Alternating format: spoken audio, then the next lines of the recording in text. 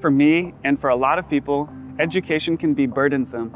And I think that's partly because of the environment and the process that we traditionally have for education. Education really hasn't changed in so long.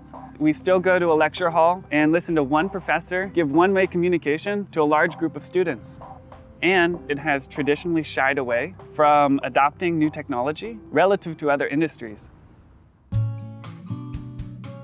At Course Hero, we look at how education happens in the real world and how can we do that better. We believe that online tools can make education more accessible, can make it more fun, it can do all sorts of things to motivate students to really want to learn. Rather than just learning from one professor, one textbook, you're getting access to many more resources. We can take a look at flashcards and make the creation process easier. We can look at tutors and we can make them accessible 24 7 we can completely redefine what it means to take a course or who you get to take it from.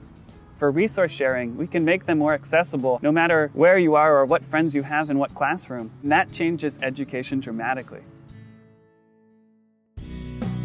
Education leads to a smarter populace, leads to growth, leads to innovation, and all of these things affect the economy in a positive way.